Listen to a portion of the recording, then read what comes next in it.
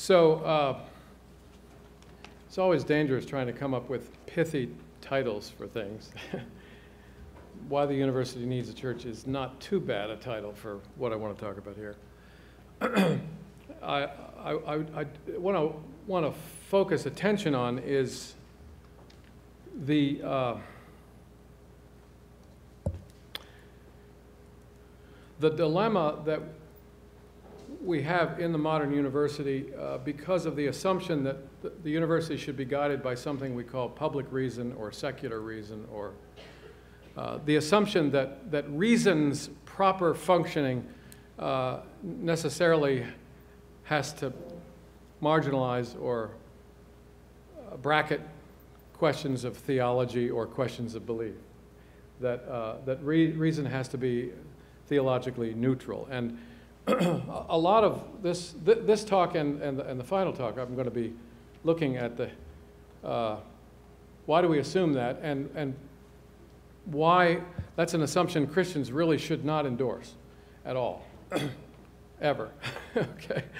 Uh, and that um, part, of the, part of the problem I think we've had uh, in the last, I don't know, century, Part of the problem that Christians have now in the academy is they're trying to figure out how to navigate uh, their careers and their work and play by the rules, uh, play, play nice with others by the rules. But um, I'm not sure that a lot of people realize how uh, not just unfair the rules are, that is, these are rules that, uh, that prevent us from doing what reason actually requires us to do, uh, but, but how, um, how biased the rules are. Um, the, the idea that, uh, that public reason or uh, the idea that what goes on in higher education has to bracket theology is not a theologically neutral assumption.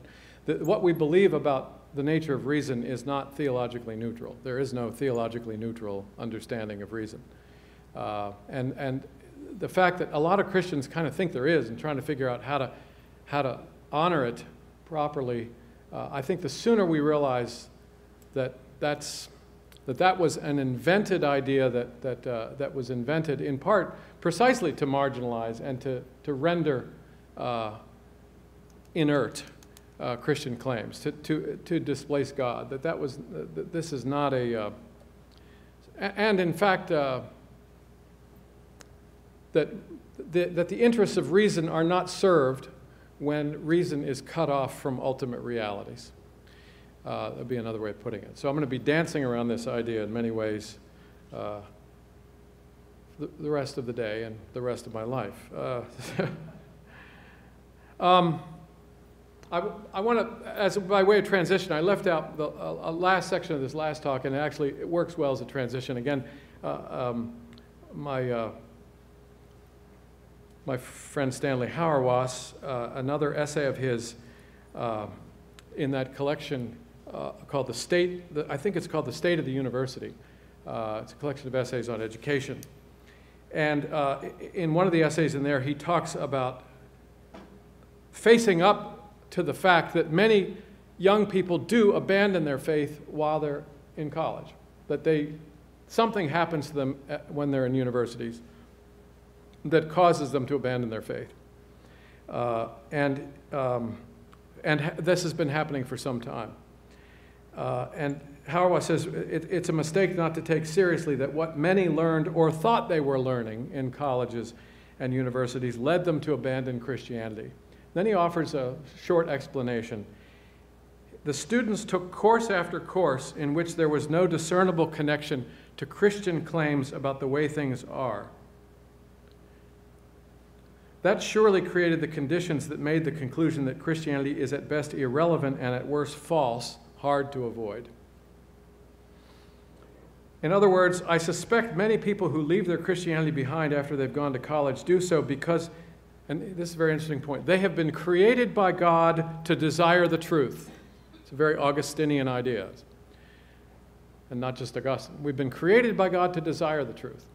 I would argue the reason we have reason is to know God.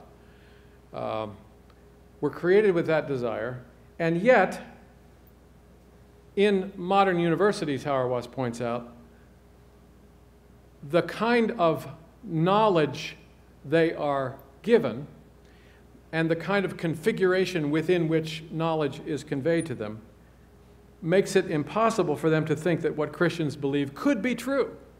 If you want truth, God's created you to want truth, and given the evidence, I'm not going to find it in Christianity.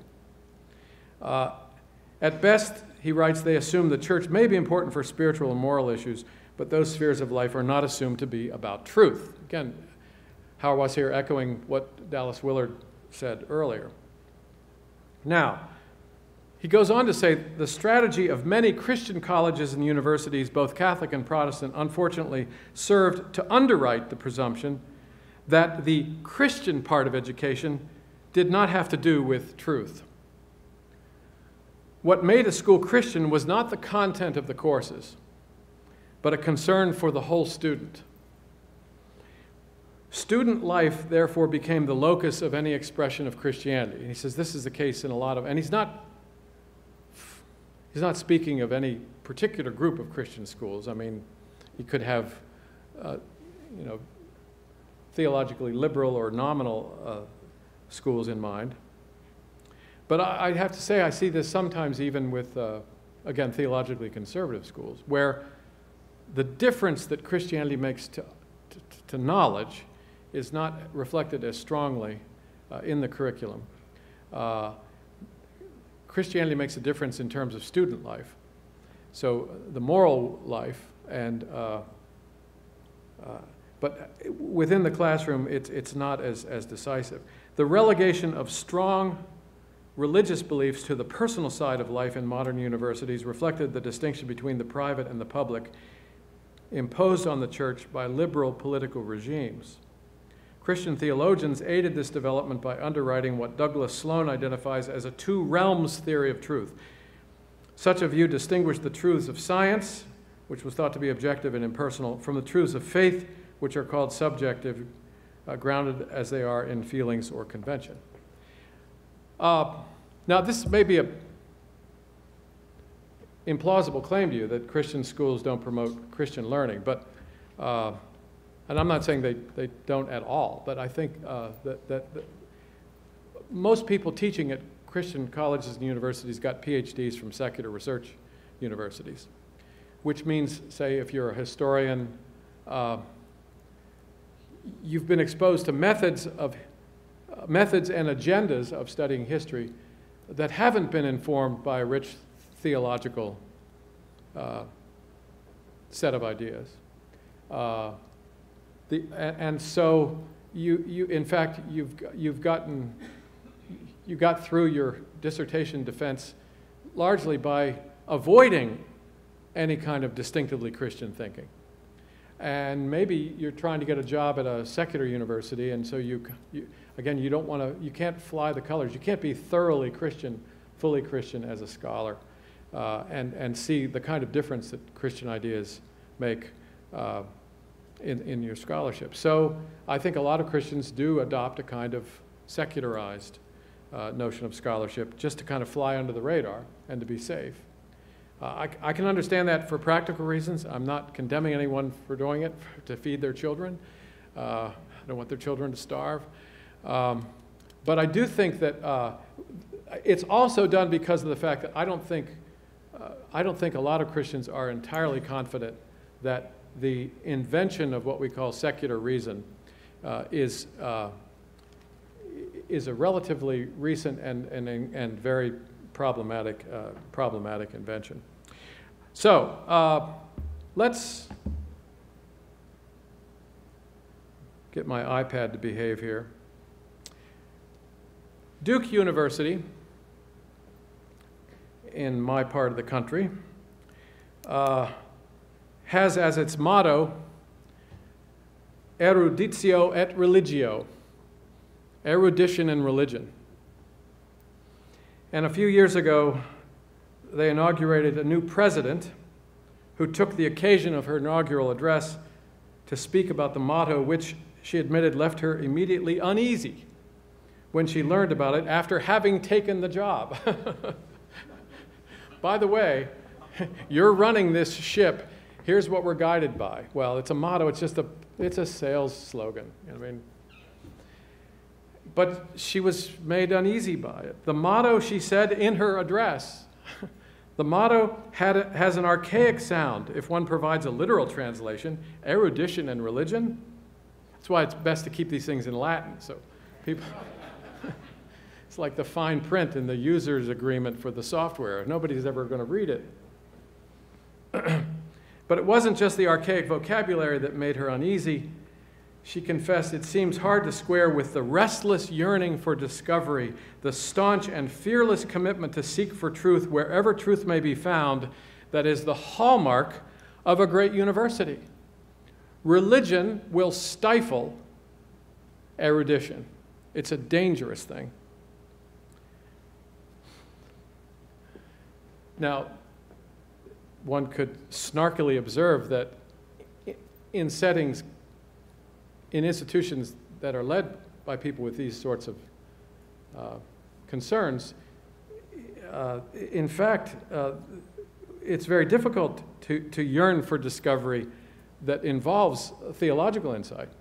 Uh, in fact, one has to squelch. If there's any squelching going on, uh, it's not by the Pope right now uh, and his minions. It's, it's, it's being done by the, the, the notion that knowledge is best pursued, and particularly the knowledge pursued within the institutions of higher education, are pursued when we bracket theological considerations uh, and, and bracket uh, th what theological prejudices.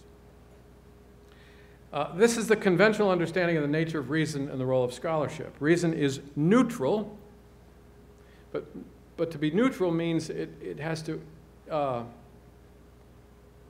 remain indifferent to to theological claims. Uh, to reason well about anything, one must resist accepting any kind of a priori assumptions from religion and from alleged sources of revelation. Religion must be methodologically atheist or agnostic. Did I say reason? Reason must be methodologically atheist or agnostic. It must assume that things are understandable, whether it be history or physics or economics or whatever. Things are understandable and best explainable without any kind of necessary relationship to God.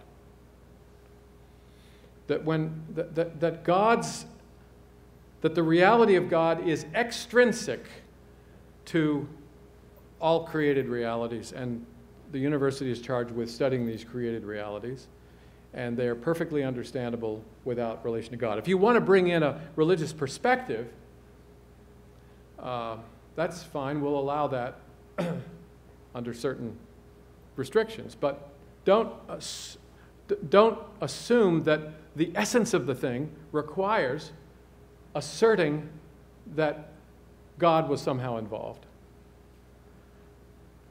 Now, it should be obvious that that standpoint is not theologically neutral. And yet, it is widely considered uh, by many of our best educated contemporaries in not only in higher education, but in politics and in, and in uh, journalism, that, uh, that religion or religious convictions, religious claims, religious uh, presuppositions are extrinsic to uh, the kind of work that scholars do.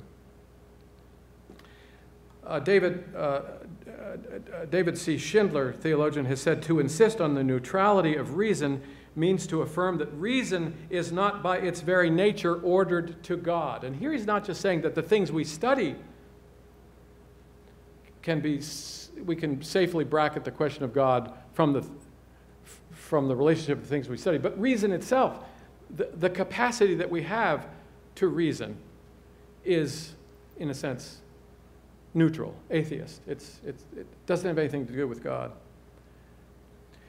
Uh, now, that, that is not what was assumed about reason. Uh, I remember the first time I saw the title to uh, Alasdair MacIntyre's book, Whose Justice with Which Rationality? And I have to confess I was a little befuddled by it. I thought, well, what do you mean, whose rationality? I can understand that there might be different uh, sets of assumptions about the nature of justice, but rationality is rationality. Reason is reason. Everybody has the same idea of reason, it's just there. It's like saying, who's gravity? I mean, of course, gravity works the way gravity works. Doesn't matter if you're uh, Persian or, uh, or Hindu or whatever. But it turns out that reason is not that kind of thing. That reason, there are different accounts of what reason is and how reason works. It doesn't mean that they're all equally false or equally true. It just means that there, there are different accounts of reason. And what we today assume to be real reason, which produces real knowledge, which is taught at real universities, uh, is really the product of, of Enlightenment ideas. Uh, I'll talk a little bit more um, about the, the, history of that um, at the risk of having a history lesson that's a little bit dense. The, uh, there were two professors from Duke who uh, called attention to this episode uh, uh, with the new president and her concern about erudition and religion. And uh, they wrote an essay where they looked at the fracture between erudition and religion and point out that for, for most of Western history, there was no division between spirituality and academic life. Uh, that the life of the mind uh, was seen as, as a single uh, and yet multifaceted endeavor of serving God through intellectual inquiry. It was an endeavor that was intrinsically spiritual because it was carried on in the context of a complex web of Christian belief and practice, and because when it was properly carried out, it prepared one for beholding the mysteries of God. As a book uh, came out, I don't know, seven or eight years ago called The Logic of the Heart by James Peters, teaches philosophy at, uh, I think he teaches at uh, Sewanee. And uh, Peters observes at the beginning of the book that our conception of rationality, of how reason works, of what reason does, of what reason is for, our conception of rationality cannot be separated from our metaphysics, that is, from our understanding of the nature of the world and of the human self. Every conception of reason has behind it a conception of the place of human being in the universe. So if you believe that human beings are material coagulations, uh, the effect of, of time and chance, uh, what you think reason will be uh, will be dictated by that. Um, evolutionary biologists, and I guess there are evolutionary epistemologists who, uh, who would uh, understand our capacity for reasoning as part of our uh, pursuit of survival that we, uh, that for our species and to survive, we cultivated certain capacities. Um, and, and, and that, that, that, that, that's all it reflects. The, the idea that it might reflect a connection with the transcendent doesn't appear because that doesn't appear on, the, on their metaphysical horizon.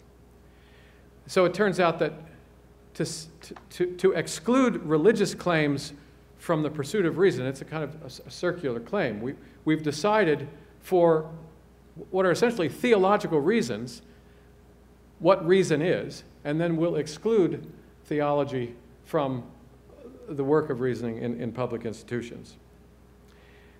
There are, I, I suggest in the first talk that uh, I'm a little nervous about separating the institutions uh, committed to the intellectual life and the spiritual life. And there are all sorts of dualisms and fracturings that occur uh, in modern culture that, that I think part of the church's task at this moment is to restore uh, what had been driven asunder and to put, put back together what God had, had joined together originally. And there are lots of ways we can look at these different dualisms. Uh, we talked about reason and faith. We could talk uh, uh also about uh, nature and grace or nature and supernature that there's a tendency to assume that they are kind of, uh, that it's a zero sum game. Something is either a product of nature or it's a product of grace, but the idea that they could be uh, co inhabiting and, and, and co influencing uh, is not on the radar. Uh, creation and redemption are kept separate, law and freedom. Uh, the, uh, politically, the secular and the religious, to be a religious institution or a secular institution that, that again presupposes a kind of dualism uh, that, that, that, uh, that is really a, a modern invention, the, the, the, the, separation of those things. Uh, Peters, in, in his book uh, Logic of the Heart, talks about the modern separation of the sacred and the secular, and he I'll have to, you'll have to forgive me a, a short philosophy lesson here, but it's, uh, we, we can't get through this without uh, examining some of the history of how we got here. And so I'm going to have to talk, use some big words to talk about, about realism and nominalism, because I really do think that, that, that these late medieval philosophical disputes that, uh, that most of us aren't even aware of happened uh, actually help us explain a lot of the kind of cultural confusion that we're in the midst of now. Our ability to separate, let, let me say uh, just a quick uh, anecdote before diving into this. Um, I, I've interviewed now a couple times a theologian named uh, Bill Cavanaugh, and Bill has written very compellingly about the invention of the modern idea of, of religion. Uh, if you ask people what a religion is, uh, they will usually describe it in terms of a body of beliefs or talk about it uh, often in very personal terms and very, uh, uh, they might talk about religious practices. But religion will be separated from other spheres of life. It's separated from economics, it's separated from politics, separated from, from other, other, uh, other public spheres. And it's, and it's essentially a private sphere. It's a private sphere that has to do with a spiritual life and not with public things that happen in history. And um, so, and, and part of the point Cavanaugh has made, and he's among many scholars who pointed out that this is a really novel understanding. This is a novel, and it's, it's a, a very parochial Western understanding of what religion is. Uh, we talked about how religion might have been defined in earlier cultures. So, for instance, uh, he brought up the question of the Aztecs and human sacrifice. If you'd asked someone performing one of these sacrifices, is this a religious act or a political act? Because it's clearly happening within the context of securing the, the, a public good of some kind through the favor of the gods uh, if you'd asked, is it a religious act or a, a, political act, they would have not had any idea what, what you were talking about. M my daughter, who uh, studied medieval and Renaissance studies at William and Mary and did a lot of study of classical culture, also told me a story. We were talking about this matter one night at the dinner table. She told me a story about some episode in which one of the Caesars had returned from a triumphant campaign and was in a procession uh, uh, th through Rome, and the, the wheel fell off of a chariot in the middle of this great victorious procession. Now, this was an ill omen. And so Caesar gets off the chariot and goes to one of the nearby temples. I don't know which god was honored in the temple. And proceeds up the steps of the temple on his knees in order to make amends to the god that people thought had been offended. And the question is was this a political act? It's Caesar. Or is this a religious act? Is a temple? Well, yes, it was both. There was no separation of religion and politics. Uh, during this conversation, Bill Cavanaugh says to me, uh, you know, the really interesting question for us now is not what caused the politicization of Islam, but what caused the religionization of Christianity. Uh, since 9 11, a lot of people are worried about politicized religion. And look how dangerous religion is when it gets politicized. But that begs the question as to whether or not religion was imaginable as, have, as being without political consequences prior to the modern age. Now, of course, many people will say, well, that's why we're more progressive than than, uh, than much of Islam because we have figured out how to separate these two realms. We've figured out how to keep the, separate, the sacred and the secular apart. And, uh, and Muslims just need to learn that lesson. Uh, well, is that theologically, is that division in fact, theologically something that Christians really want to affirm uh, as decisively. It, it's odd that often the same people who complain about living in a secularized country in America, where religion has no public consequences, will then say uh, that Islam allows for too many public consequences.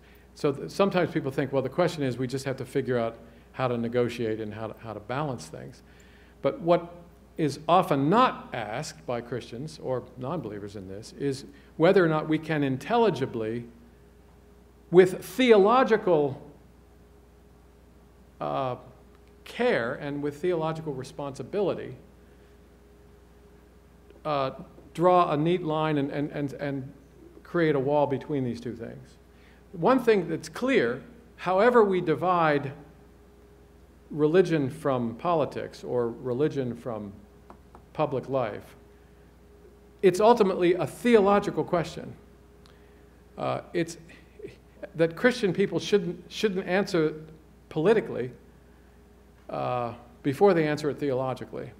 Because ultimately, the relationship between God and any aspect of human life or culture is a theological question. It's, it's, it's, it's, it's uh, and it's, it, it's, it's fascinating to me to see people who think that we can answer it in terms of constitutional law or we can answer it in terms of political philosophy and not even ask questions in terms of, of, of theology. It shows how secularized uh, our imaginations have become.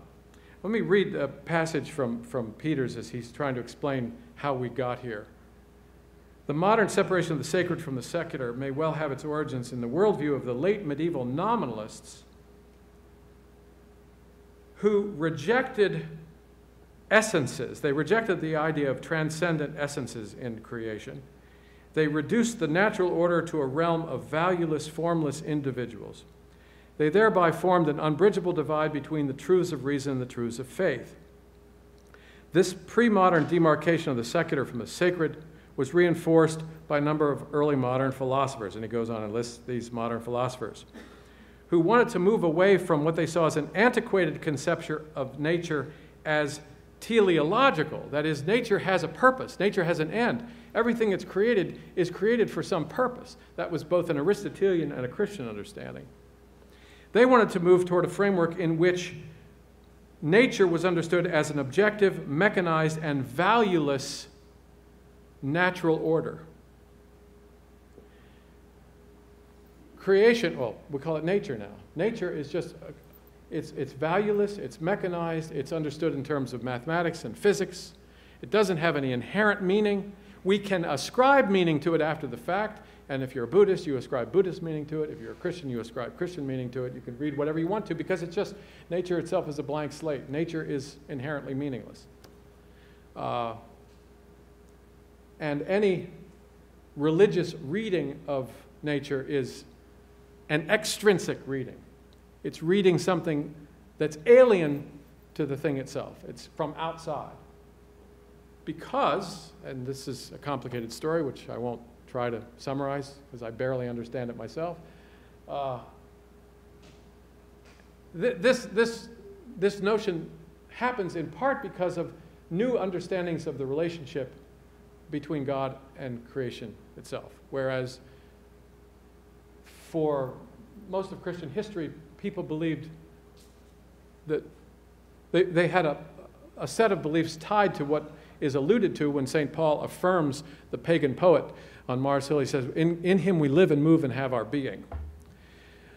That the, that the, that the immanence of God, that, that, that God is, is, is present to all of reality that God is not just the originator of things, it's in some kind of deist moment of creation that he walks away from and then eliminates. But God is present and sustains and holds together all things now. That's made clear in those three New Testament passages I read. Everything's being held together, everything has its coherence in Christ, really, now. That the doctrine of creation isn't just about what happened, but the doctrine of creation is about God's relationship to creation and his upholding of creation and his, uh, his connections with creation and all aspects of creation all the time.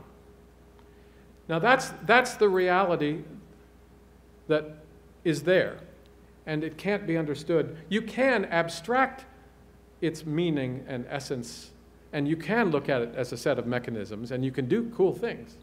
Uh, you, you, can gain power over nature if you, uh, and, and you can gain power to do whatever you want because you won't have any restrictions to what you want to do based on what the thing is. Uh, because the thing has no inherent nature. So the, our, our modern idea of the separation of the sec- sacred and the secular, and I think our ideas about, or some of the intuitions we have about the separation of faith and reason, are really a product of this ultimate metaphysical separation of God from creation, whereby God is an alien absence, not a, an animating presence in creation. Now, this, this change is a change that happens in Christian theology. So there's a wonderful new book by Michael Allen Gillespie called The Theological Origins of Modernity, in which he argues that a lot of our confusion and a lot of the problems that religious people complain about under the heading of secularization, well, it was theologians who, who ushered us into this stark uh, new world, theologians who reconfigured uh, the understanding of the relationship between God and creation for reasons that I won't go into now. The question that is facing a lot of theologians now is was that a good decision? First of all, given the cultural results that we see, uh, given the kind of confusion and the kind of nihilism that informs much of Western culture, the inability to have any kind of rational discussion about the nature of reality because it's assumed reality has no rationality to it. Uh, uh, that, that, if that's one of the results of this redefinition of the relationship between God and creation, maybe we made a mistake. Maybe, maybe those theologians were mistaken. Theologians have made mistakes in the past, so this might be one of them. And it, it, it's fascinating to me. Again, I'm not a scholar, uh, and I get to, I get to, um, without any kind of responsibility, dabble in all sorts of disciplines that are none of my business without a license. Uh, and I get to talk to these people and read their books and ask them questions, and they get to explain why I've misunderstood what they've said.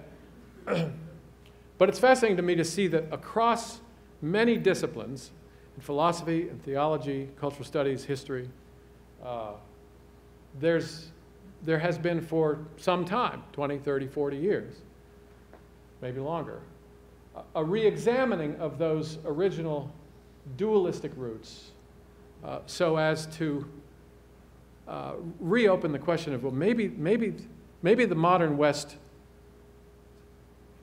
maybe the problem with a privatized, inert Christianity is because the modern West took a, uh, a bad turn uh, a long time ago. This isn't just a product of the 60s, it's maybe the 1260s, uh, but not the 1960s.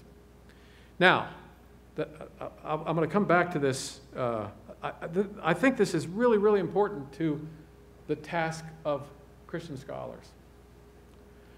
Because I think that you can, you can do you can do scholarship as defined by the terms of the modern secular academy, and you, could, you can do some nice things, and you can do some useful things. But uh, I think there's going to be less and less room for, uh, for any kind of theologically informed scholarship to be present uh, in, in the academy. Uh, I may be wrong in that. But, uh, but why would we want to, why would we want to sail under just a few sails? I mean, if we really want to think about politics or economics or art or history as well as we can, wouldn't it be best that we understand the full reality of the things that we're studying? If we want to study human psychology, we want to understand social history, wouldn't it be best that we have an understanding of the meaning of the human that is as rich and, and developed and unfettered as possible. Why would we want anything less? Uh, why would Christian scholars want anything less? Well, tenure might be one, one reason I understand. Feeding the kids. Uh, but I think, again, I'm, I'm not giving a practical, I'm not saying this is a practical trajectory, but I think that uh, the kinds of conflicts that I hear, that I hear most, more from graduate students than from faculty members who are wrestling with how to navigate their way through graduate school and then how to get a tenured position. The institution is, uh, the, the, the institution of modern Western higher education, as I think the institution of modern Western politics and government, uh, is, uh, has, has, it's not theologically neutral. It's made theological decisions that are questionable. Uh, we can try to work within that system as much as possible. But I think we always ought to recognize that the system is, is flawed in, in, this, in this very substantive way, that, that, that it, it insists on sustaining uh, a division that really shouldn't be there. What time are we supposed to quit? Five. And I'm at 15 after now. Let me, let me do one more thing. Uh,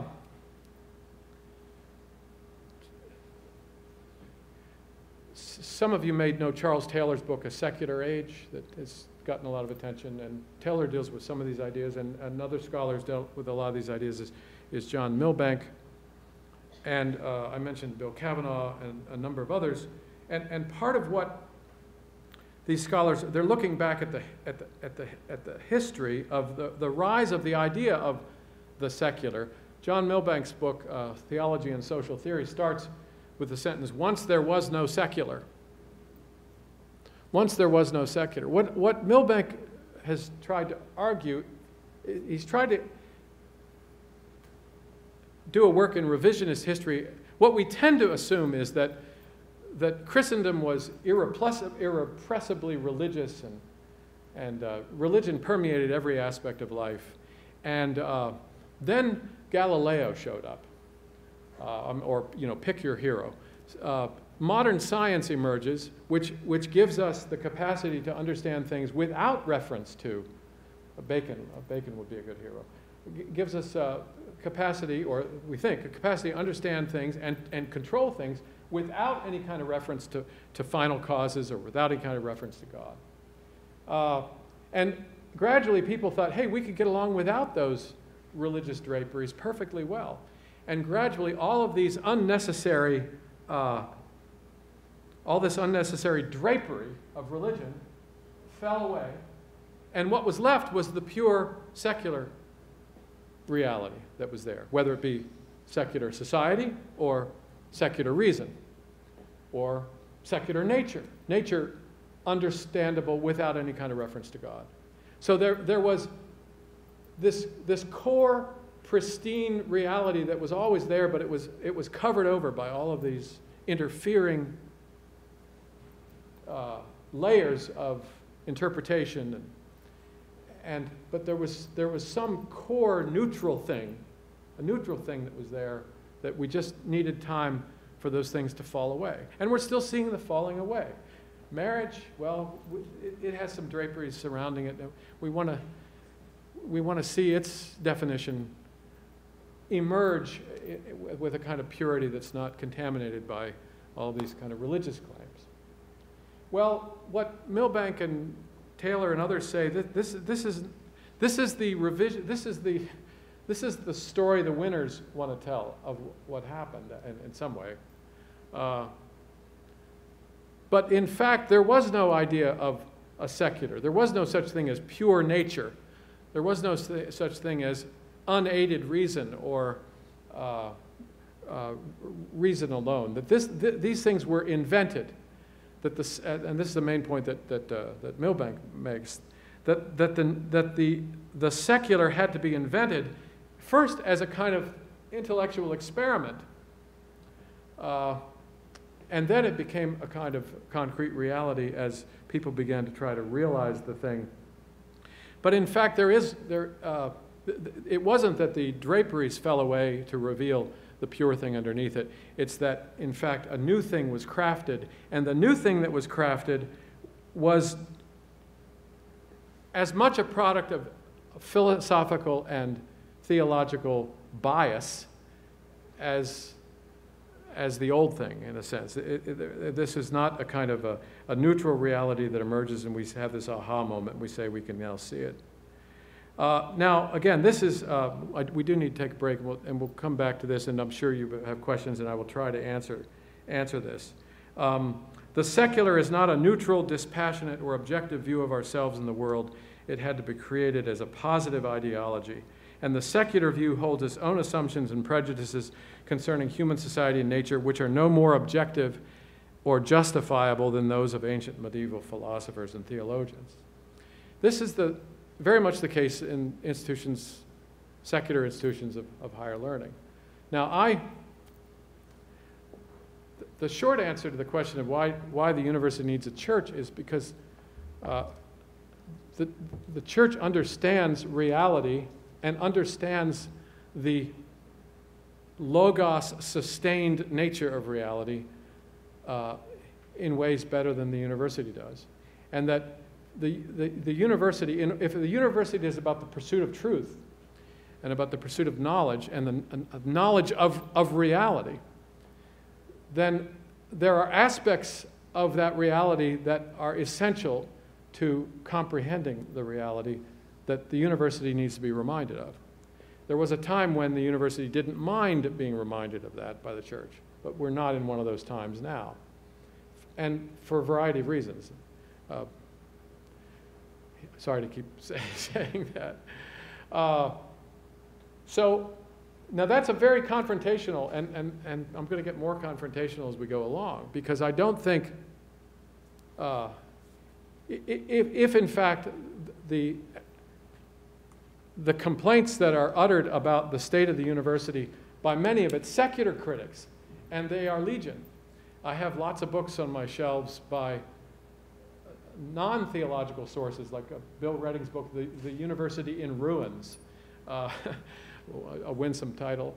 Uh, and I, you know, I, I, stopped getting the Chronicle of Higher Education because I got so tired of reading this. And, and, you know, almost every book that comes out about the humanities, about every other year, it's about, uh, you know, what was it? Uh, Frank Donoghue's book, The Last Professor. You know, it's this wistful view of, oh, we lost.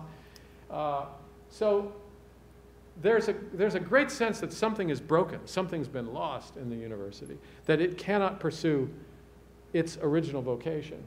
Well, I think it cannot pursue its original vocation because of the fact that it has bought into the idea that, that piety and learning are separable, that, that, that reason has to be uh, entirely uh, cut off from, from revelation. In other words, that reality is perfectly understandable without any kind of reference to God. That's not uh, an understanding that Christians can assent to, and even, I think, for provisional reasons. So I will stop there finally. And we're doing Q&A till when? Uh, okay. Yeah, I'm sorry to go on.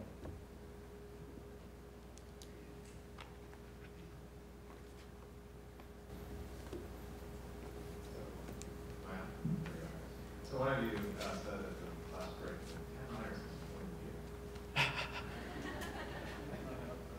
uh, uh, let's um, uh, uh, take questions now. We've got a few minutes. And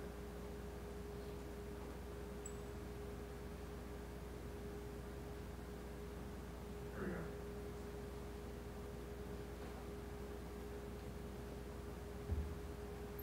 Thank you, Ken, for coming. It's wonderful I had a uh, question about Os Guinness. Uh, recently, I haven't gotten a recent book, but he talks about the naked public square, and particularly James Madison getting his spot on right, the balance between uh, embracing division but not coercing it.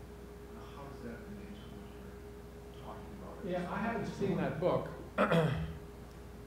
uh, so I, I, I, in fact, I think my copy just came yesterday in the mail. Um,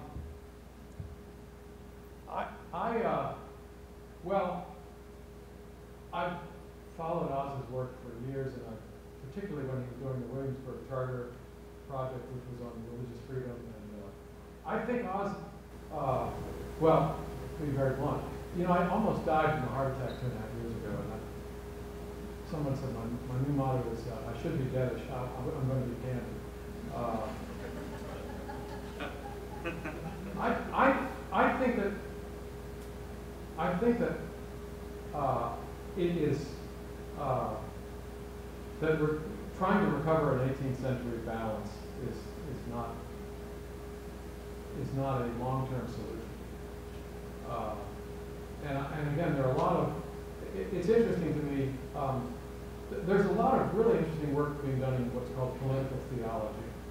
And uh, people on left and right, so Oliver O'Donovan, who recently retired from Edinburgh, before that was moral, moral, professor of moral theology at, uh, Regius professor of moral, moral philosophy at, at Oxford. Uh, some really remarkable work on deeply theologically informed political theory.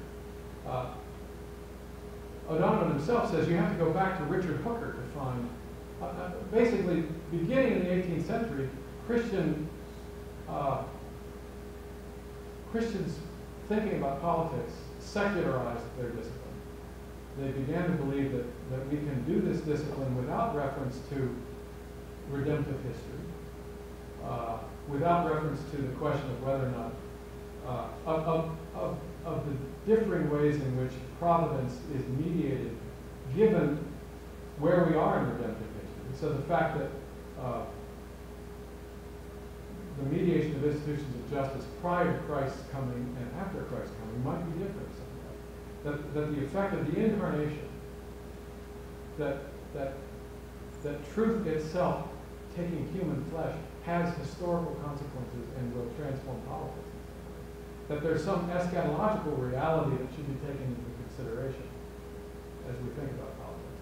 For the most part, uh, O'Donovan has long been lamenting the fact that, that, that political thought by Christians has largely abandoned uh, a dynamic theological, uh, a dynamic theological uh, edge to it. It's not saying it's entirely without theology, but what, what typically happens is uh, we, we distill Christian teaching to a body of, of principles, political principles, and we try to say, okay, let's try to enact those, those political principles. Uh, it tends to be very ahistorical. So again, political principles prior to Christ's coming political principles after the resurrection and ascension are pretty much the same because they're, they're constant, they're natural laws.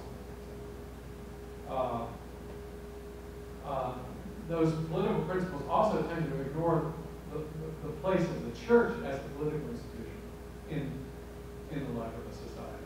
Church is considered a private institution, not an institution. Now, those are, those are, whether or not we should do that, there are a lot of people doing political theology now that are saying, you know, we have self-secularized, we have self-domesticated uh, theology and, uh, and uh, thinking about politics.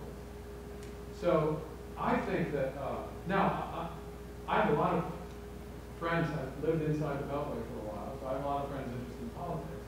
And what I find interesting and somewhat dismaying is that they continue to write their books and essays about public policy and Christians in the public square and all those sorts of without any reference at all to this incredibly rich work that's been going on for 20, 30, 40 years, raising fundamental questions about whether or not mo- the modern secular liberal state is actually uh, theologically, a theologically sound expression of, of a Christian understanding of what politics should be. Uh, so there are, there's wonderful work being done, but it, it's, it's, it's, first of all, it's not influencing people who tend to write about public policy, and, and Os has kind of been doing that for a long time. Secondly, it's not even influencing other Christians who are doing work in political theory. I have friends who do work in political philosophy, political theory, who are entirely unaware. Again, this is part of the specialization of you have. They're entirely unaware of, of, of, of the theological work challenging the uh, kind of conventional status quo that we've inherited. So I think that uh, obviously some of it is going to take time for that to happen. Part of it is going to take time because there's a lot of institutional momentum which is sustaining attention to some things uh, and not others. It's a lot easier to get funding and sell books if you have prescriptions for how we can work within the existing system, rather than to write a book saying, that the existing system is so flawed that we need to consider an entirely different system. People don't buy those books, so that's another very practical reason. We're gonna try to get two Yeah, I'm more- sorry. Two more questions in the next few minutes. Okay, um, I know you were, you were kind of half, half joking maybe about the, just feeding your children and, and tenure. Um, but I think for, for maybe for many of us, I, I know for myself, it's not even so much a conscious thing. Sure. It's sort of the air that we breathe. Sure. Um, and we're just trying to get along with the system we find ourselves in.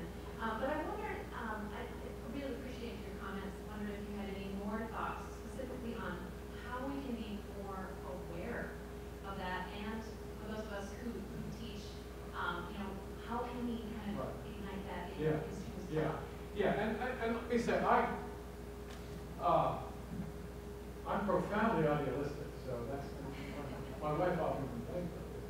Uh, But I think, I, I think that i- if in fact, the, the, the status quo that we have in terms of our understanding of relationship between faith, reason, culture, all those things, if it's, if it's unreal, it's gonna fall apart.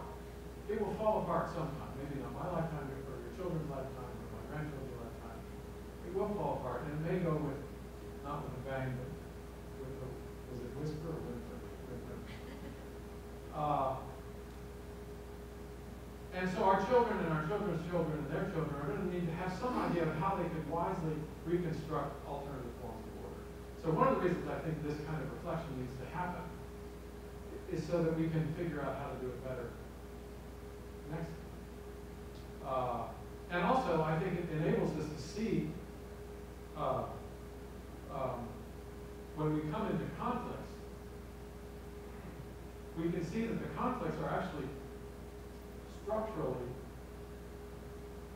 uh, caused, and they're not just because we have some nasty people conspiring against them. Uh, it, it kind of relieves us of conspiracy theory or paranoia or to, to realize that, you know, it's not just these nasty progressive people who are trying to, to, to kill Christmas. Uh, it's actually the product of these long systemic misalignments that we need to work. And again, I think, so, and I think, I, I think that, uh, there, again, there's tons of material being written, uh, in, in, across disciplinary lines that are, again, you could say in a sense, this is part of what post, postmodern.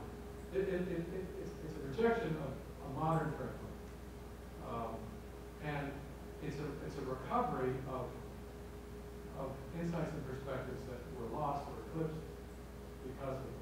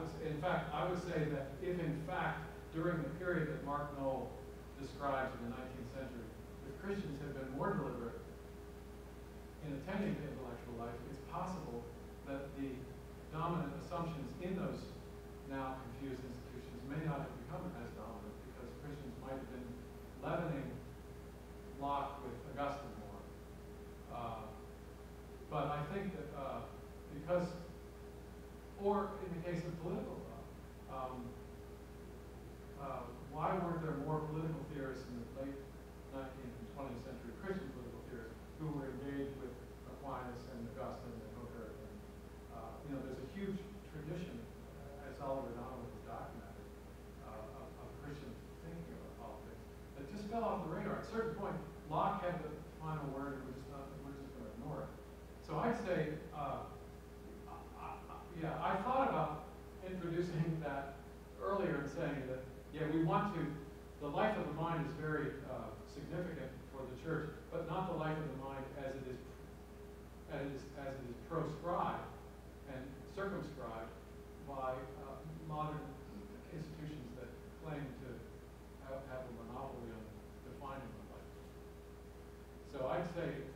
and that's what, and I would also say that the reason why this conversation between church and university is so essential, that, that people in the church, clergy